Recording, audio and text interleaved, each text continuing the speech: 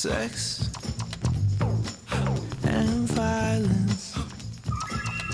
What do people expect?